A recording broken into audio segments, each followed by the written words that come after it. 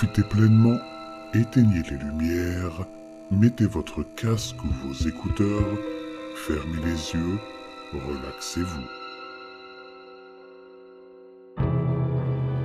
Le jeu du pendu. Première partie.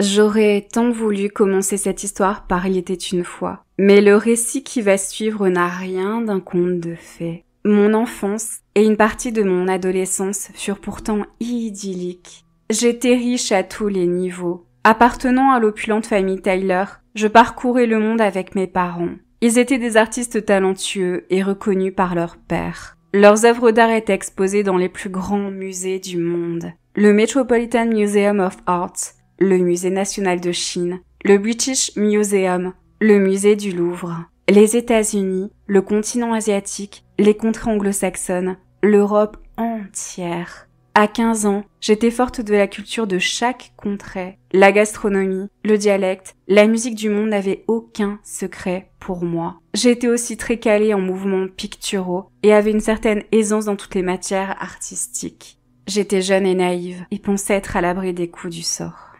Du jour au lendemain, mes privilèges s'effondrèrent. Un matin, mes parents disparurent. Je fouillai l'entièreté du manoir victorien pour les trouver. Seuls les claquements lugubres des volets extérieurs en bois me répondirent. Les craquements du plancher accompagnèrent ma progression. Je sortis dans l'immense jardin. Un brouillard dense empêchait toute visibilité. Il avalait l'ombre du portail. Il estompait la silhouette des chênes. Il gommait la pureté des rosiers blancs. J'étais perdu au milieu d'une épaisse brume, avec une croissante certitude. J'étais seule. J'appelai mes parents. Un silence de mort me répondit. Je courus sur la pelouse du jardin. La rosée matinale avait rendu l'herbe glissante et ma progression difficile. Je trébuchais trop souvent. Je finis par me réfugier aux portes de ma demeure. C'est sur le palier que le majordome me trouva. Une enquête fut ouverte. Le seul indice était dans l'atelier d'artiste de mes parents. Une toile avec une énigme, des lettres, des tirets, un hashtag, des espaces et un autre hashtag et une peinture abstraite. Qui était l'auteur de ce message Que signifiait l'énigme? Les recherches piétinèrent. La décision fut prise de me placer. Un seul membre de ma famille accepta d'avoir une adolescente à sa charge, un oncle, un vieux garçon. Il était également irlandais. Il habitait dans la bourgade de Dunglow, à 440 km de la ville de Cork où je logeais. C'était un homme taciturne et sans histoire. Concierge dans un collège défavorisé, il ne comptait pas ses heures de travail. Cela me convenait, j'aimais ma tranquillité. Heureuse de le savoir peu présent à son domicile, j'acceptais.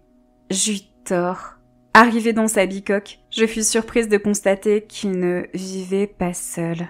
Suite à un drame survenu dans le collège dans lequel il exerçait ses fonctions de concierge, il avait recueilli quelqu'un chez lui. Le malheureux était orphelin. Il avait assisté à des événements traumatisants. Il avait été persécuté. Sa vie avait été faite de coups et insultes. Certes, il avait des passions bizarres comme la taxidermie, mais il n'en était pas moins digne de respect et intérêt. Tous les enfants devaient être aimés. Ce furent les explications débitées par mon oncle quand il me présenta Todd. Je n'oublierai jamais l'aura malsaine qui l'entourait. Il ne parlait pas, il grognait des sons gutturaux. Il portait un masque de loup. Pas ces choses incongrues en plastique vendues dans les mauvaises boutiques de farce et attrape, non. Todd avait sur la tête la vraie gueule d'un loup. Les touffes de poils étaient couvertes d'une mixture poisseuse et malodorante. Le derme lupin était plus verdâtre que blanchâtre. Le museau se décomposait par endroits. La masse corpulente de Todd avança. Il tendit mollement une main à l'hygiène encore plus douteuse que le reste. Face à cette horrible apparence, je reculai en grimaçant. Le monstre devant moi gloussa. Pour arriver dans la sordide ville de Dunglow, mon oncle avait dû conduire de nuit. Le jour s'étant levé, le collège allait ouvrir ses portes. Mon oncle enfila un manteau limé, puis partit au travail. Todd me fixa pendant deux interminables minutes. Il balança son corps d'un pied sur l'autre. Sa face de loup restait immobile. Les yeux de la bête avaient été retirés. Pourtant, le regard qui me fixait n'avait rien d'humain. Je prétextais une urgence féminine pour m'extirper de cette rencontre effrayante. Dans la salle de bain, en me lavant les mains, j'eus encore cette impression d'être observée. Je guignais les peintures vieillies qui décoraient la pièce. C'étaient des portraits expressionnistes. Les visages fondés en coulées ocres et grises. Les regards étaient courroucés. Mal à l'aise, je sortis de la salle d'eau et me réfugiai dans la chambre qu'on m'avait attribuée. À midi, on toqua à ma porte. C'était Todd qui portait un plateau. Il resta longtemps immobile. Il me fixait sans ciller. J'étais terrifiée par son attitude étrange. Finalement, il posa mon repas sur le palier puis quitta la pièce. Un vieux bol ébréché, une soupe écœurante, une miche de pain aussi dure qu'un caillou, un verre de lait qui a tourné. Dégoûté, je décidai de jeûner. Au milieu de l'après-midi, je sortis pour respirer autre chose que l'air vicié de la maison. Le jardin était aussi mal entretenu que le reste. Au milieu de la laideur pourrissante des fleurs, j'entendis de doux miaulements. Ces sons apaisants provenaient d'un cabanon vétuste. Désireuse de cajoler de petites bêtes innocentes, j'approchai de la cabane. Les cloisons étaient des planches en bois mal assemblées. Je regardais au niveau des interstices. À l'intérieur de l'abri, dans un panier posé sur le sol, une portée de chatons ronronnait. Les jolis êtres se frottaient les uns contre les autres. Ils, semblables à une épée de Damoclès, un couteau s'abattit. Les chats poussèrent des miaulements affolés. Le couteau perça les têtes et les yeux des chatons apeuraient. Le sang gicla des coulées inondèrent le sol. Des gouttelettes d'hémoglobine aspergèrent les murs et le responsable de ce carnage. La silhouette massive, la tête d'animal qui dodelinait. Todd. Je me mordis les lèvres pour ne pas crier. Le goût métallique inonda ma bouche me donnant davantage la nausée. Malade, les larmes au bord des yeux, je courus me réfugier dans la maison. Je ne connaissais ni la ville, ni le comté dans lequel j'étais. Je ne savais pas où aller. J'attendis donc dans la salle de bain, adossée à la porte, fermée à clé. Au début de la soirée, mon oncle rentra du travail. Il se vautra dans le fauteuil du salon. Je le rejoignis. Todd était, Satan seul sait où. J'employais toute ma diplomatie pour évoquer son passe-temps effrayant. Mon oncle haussa les épaules en défendant Todd. C'était un artiste, un original, un incompris. Il aimait l'art, c'est tout. Tout en le glorifiant, il caressa une peluche sur la table du salon. Il la saisit et l'admira sous toutes les coutures. Je déglutis. Il ne manipulait pas un jouet, mais un animal empaillé, un écureuil mort. J'étais à deux doigts de fondre en larmes. Je fis tout mon possible pour maîtriser mes nerfs. Je fis aussi le maximum pour convaincre mon oncle de m'envoyer dans un pensionnat pour jeunes filles. Je fis également de mon mieux pour faire montre d'une excessive maladresse. Le service de porcelaine de mon oncle y passa. Au final, le pensionnat pour jeunes filles fut idéal. Me trouver une place fut aisé. Le lendemain, au matin, nous étions arrivés à l'orphelinat catholique du Bon Secours de la ville de Tuam. Si vous pensiez que Todd était l'être le plus monstrueux au monde. Laissez-moi vous dire qu'il n'était rien comparé à Madison. Madison était une fille étrange à la démarche fantomatique. Son corps, partiellement caché sous des vêtements gris, délavés, élimés, était décharné. Ses cheveux blonds cendrés n'étaient jamais peignés. La masse était épaisse, sale et emmêlée. Son visage était émacié. La carnation était étrange. C'était comme un mélange de teintes cendreuses et verdâtres. Sa face était croûteuse par endroits. La lèpre, la vérole, beaucoup de jeunes filles du pensionnat se plaisaient à lui inventer toutes sortes de maladies contagieuses. Madison avait un regard à vous glacer le sang. Les yeux étaient globuleux, les sclères étaient jaunâtres, Les iris étaient terre d'ocre, une teinte peu commune, piquetée de gouttelettes de sang. Elle ne parlait pas, jamais, faisant courir moult autres rumeurs sur son compte. À l'orphelinat catholique du Bon Secours, il était facile d'avoir accès au dossier confidentiel des autres orphelines, pour peu qu'on ait la cuisse légère. Tous les hommes qui travaillaient au pensionnat étaient soudoyables en échange de faveurs sexuelles. Madison était la seule à n'avoir aucun dossier. Son origine était entourée d'un épais mystère. On dit qu'elle était le rejeton d'une sorcière et pratiquait des sacrifices les soirs de pleine lune. Elle errait souvent avec un antique cahier noir. La relique avait des pages jaunies et une couverture en vieux cuir craquelée par endroits. Cette antiquité était la chose la plus effrayante.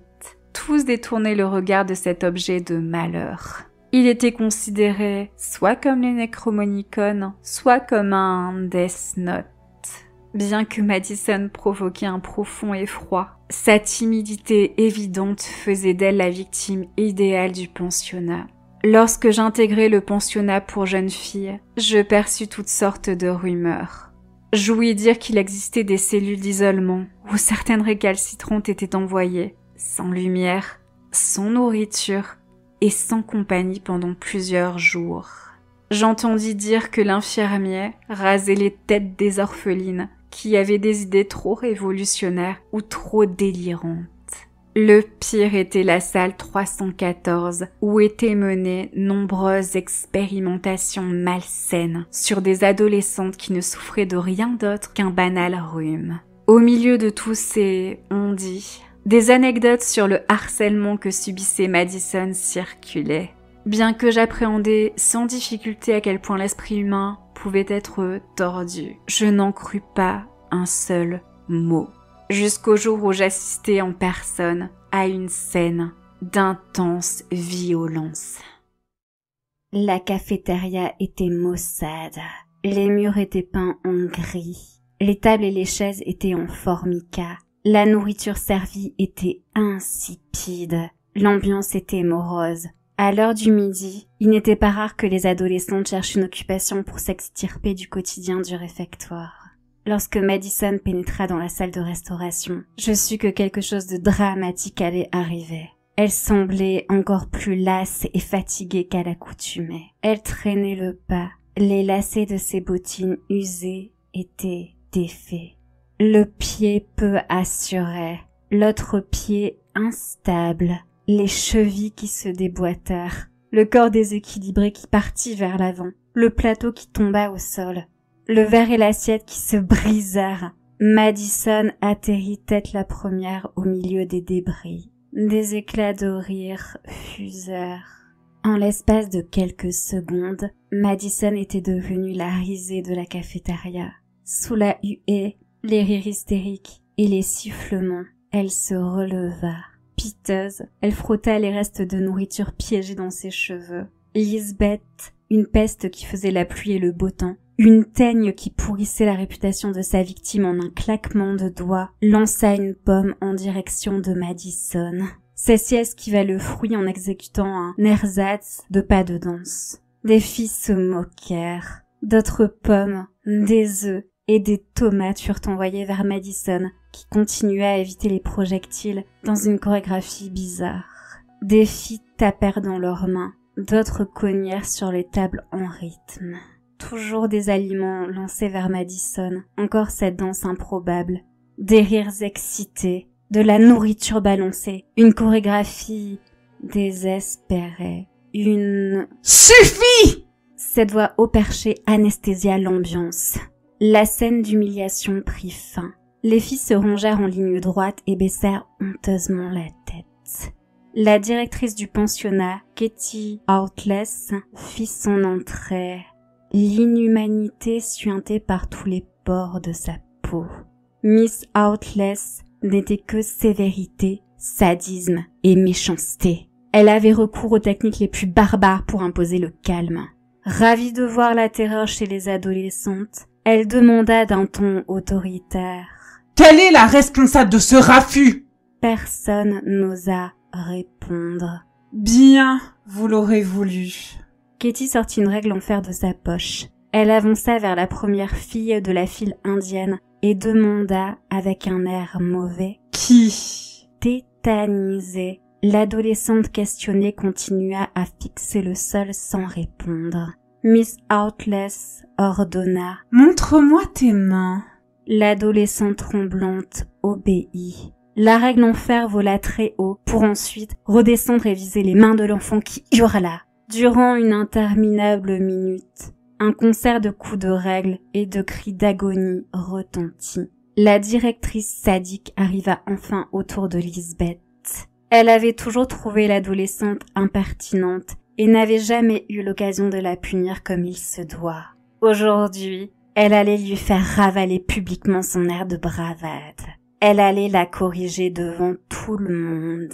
Elle demanda Qui? Alors qu'elle levait la règle en fer le plus haut possible, une voix rauque l'interrompit. Personne. Miss Outless fronça les sourcils et suspendit son geste. Elle interrogea. Quoi? Une adolescente avança avec une extrême lenteur vers la directrice. Elle affichait un air déterminé. Sa démarche était hypnotique. Elle avait un air de défi immuable. C'était Madison. Elle arriva à hauteur de la directrice et répéta d'une voix éraillée. Personne. Miss Heartless trembla. La règle en fer tomba sur le sol. C'était la première fois que Madison parlait. Sa voix était effroyable. La directrice avait perdu sa superbe. Elle recula lorsque Madison fit un pas en avant. Paniquée, la directrice finit par rebrousser chemin et quitter la cafétéria. Madison, la personne la plus moquée du pensionnat, avait terrassé la redoutable Miss Outless. Il y eut un temps de flottement. Enfin, Lisbeth se rapprocha de Madison. Cette vieille fois cherche la moindre occasion pour me tomber dessus. Tu aurais pu me balancer pour te venger, mais tu n'as rien fait. J'apprécie. Dans tout l'orphelinat, Lisbeth n'estimait que trois filles. Elle dédaignait et harcelait toutes les autres qui n'étaient pas dans son cercle d'amis. Aussi, quand Lisbeth tendit sa main vers Madison, le temps se figea. Lisbeth offrit à Madison un sourire sincère. Mielleuse, elle demanda Alors, Maddy, amie Des ados frissonnèrent. D'autres arrêtèrent carrément de respirer. Madison pencha la tête sur le côté pour juger la proposition. Autour d'elle, le silence régnait en maître. Lentement, elle saisit la main tendue et répondit Amie. Le pacte avec le diable était passé. L'amitié naissante entre Lisbeth et Madison fut l'événement le plus étrange qu'il m'eût été donné de voir. La nouvelle relation était indestructible. Le duo était inséparable. Les deux êtres étaient devenus des chimères. Par un coup du sort, les jeunes filles se vouaient une admiration mutuelle sans borne. Un observateur naïf verrait là un bienheureux retournement de situation. Mais ce revirement était tout bonnement flippant. Lisbeth se fondit en Madison. Elle ne s'exprimait que quand Maddy le lui permettait, en la paraphrasant la plupart du temps. Elle copiait toute sa gestuelle, elle était trop serviable à la limite de l'asservissement. Elle se coiffa et se vêtit comme Maddy, qu'elle avait pourtant toujours considérée comme une pauvrette. Son apparence devint miteuse. Quant à son teint, il devint maladif. Des cernes prononcées envahirent son visage. Elle devint un squelette à la démarche aussi fantomatique que son acolyte. Le clou de l'horreur fut enfoncé quand elle prit systématiquement la défense de Maddy, elle perdit ses anciennes amies, allant jusqu'à se les mettre à dos. Pire que l'ombre d'elle-même, Lisbeth devint l'ombre de Madison. J'assistais à sa déchéance en spectatrice tout à fait passive. Bien que d'un naturel curieux, j'avais tendance à être discrète. Cela a joué en ma faveur. Je les épiais en douce. Impuissante, je voyais l'ongeance de Madison, et de facto, la maltraitance que Lisbeth subissait. Une après-midi, j'eus un mauvais pressentiment et m'assis derrière elle en cours. Alors que je lisais la nouvelle Alice dans la clinique aux merveilles, je vis Madison se pencher vers Lisbeth. Elle proposa Veux-tu jouer à un jeu? L'espace d'une seconde, je fus pétrifiée. Lisbeth répondit Oh oui.